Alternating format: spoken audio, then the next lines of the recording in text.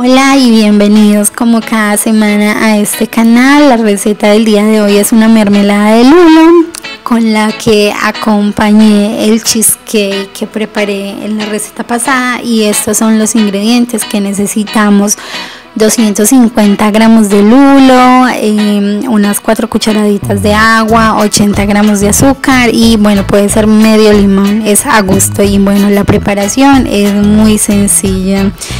Em, iniciamos pelando el lulo. Eh, mi mamá es una experta pelando lulos, entonces ella fue la que peló los lulos. Me disculpan la calidad del video, bueno, o la luz, porque em, es esta preparación y el cheesecake y otra torta que tengo para ustedes la hice en mi casa y en mi casa no tengo los recursos suficientes para hacer videos y es muy oscuro, grave en la noche. Luego de pelar los lulos, eh, bueno, vamos a necesitar la pulpa, solo la pulpa y esta la podemos retirar con una cuchara.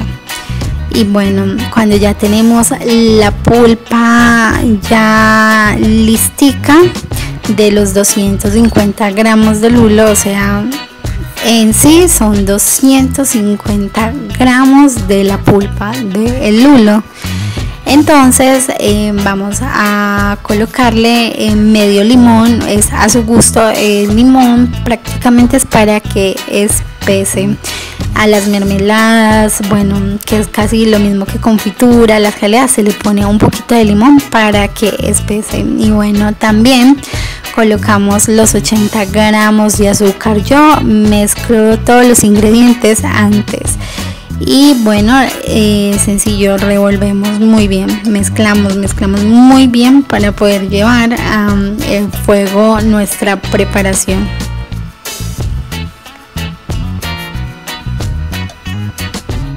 A mí me encanta la combinación de lulo, limón y azúcar porque así también se prepara la famosa lulada y la verdad es una bebida muy refrescante y la verdad deliciosa.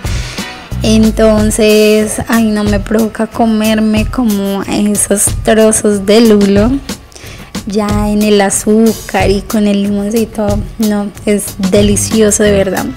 Pero bueno, nosotros lo que vamos a preparar es una mermelada o una salsa de lulo y es muy sencillo.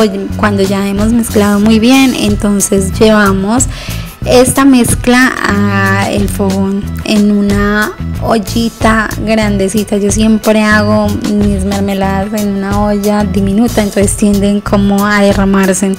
Y bueno esperamos a que espese y ya esto es a gusto para la salsa. Eh, bueno por eso utilizamos las cuatro cucharadas de agua para que quede ligera pero a mí me gusta la verdad muy espesa. A mí me gusta bien espesita la mermelada entonces yo eso lo dejo a criterio de cada uno si les gusta espesa si les gusta ligera. Ya ustedes miran el punto adecuado de la mermelada.